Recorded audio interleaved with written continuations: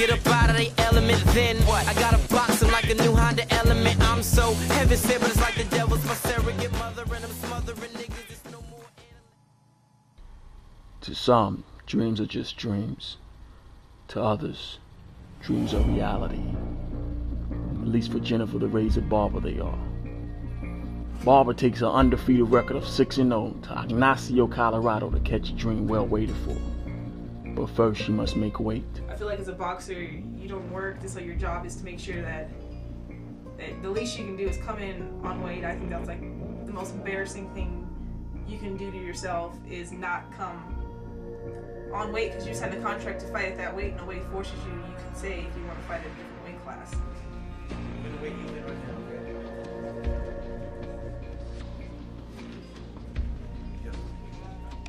Jennifer Barber. Contract weight is one twenty-one point one quarter. One nineteen point two. Oh,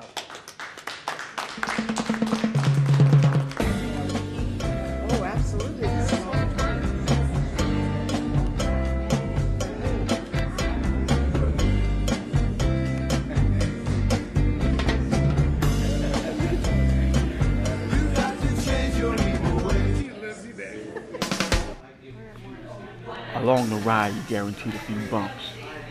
Despite being a local, Barber's opponent, Adriana Delgado, was late for her weigh-in. right here, right time. That kills me. That, that's a beat. Doesn't make any sense.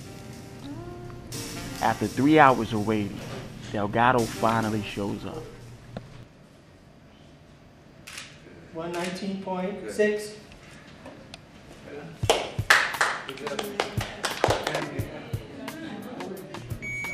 After a blood pressure and weight, Barber goes through a required boxing examination.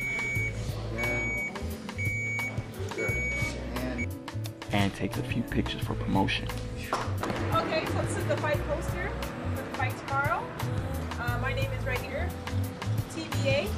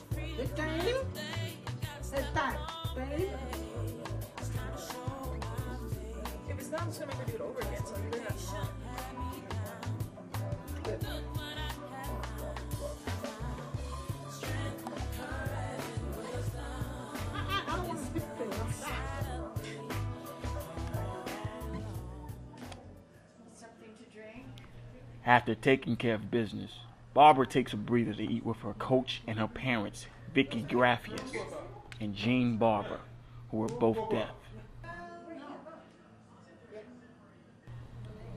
Barber received her degree in deaf studies at the Cal State University of Northridge to become closer with her parents and the deaf culture.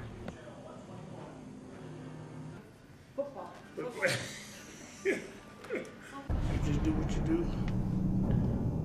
My jab, movement, and feints. At this venue, the hotel serves as the dressing room. Here, Barber must prepare herself mentally for the battle.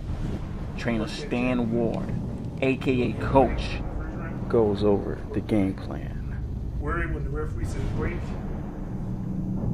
Make sure that this here, here, here, here. If you think she's gonna punch you you're jabbing, touch her on the hand. Because usually when they punch, they punch from here. If she drops the hand and you ain't, you usually something hit her on her arm and her, on her front hand, you'll keep her off balance. Keep her stable. She gets her, she's getting ready to throw this hand, and you hit it. And.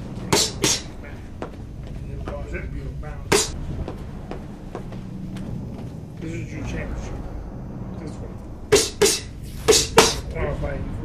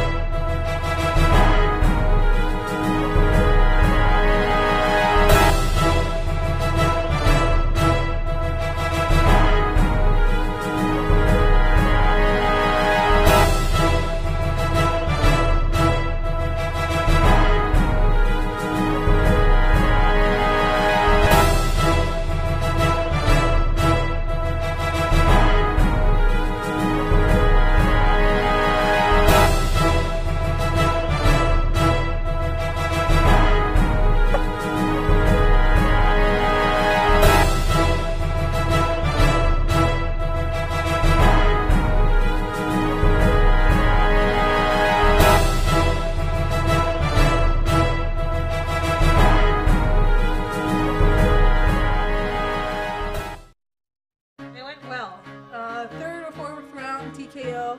Uh, they stopped the fight. Her nose was really, really bloody. But I won, so now I'm 7 0, four knockouts, so I'm excited. Somebody from the audience threw in the towel, which I guess is her dad. So they, they didn't want to see it go anymore, so the fight got stopped. It was absolutely like picture perfect. She had great hand speed, great jab, very good, strong tenacity. She stayed right on her. I thought it was one of her best fights I've ever seen her throw. Got a little payback since we're supposed to wait at 2 o'clock and she didn't get until she didn't get here until 5.30 and she's close by. She's like from two and a half to three, and a half, three hours away and she got here at 5.30. So Uh, Jenny is, is a is a now becoming a very seasoned pro, and by the grace of God, we do all we should do, and, and we do the best that we can. We come out victorious.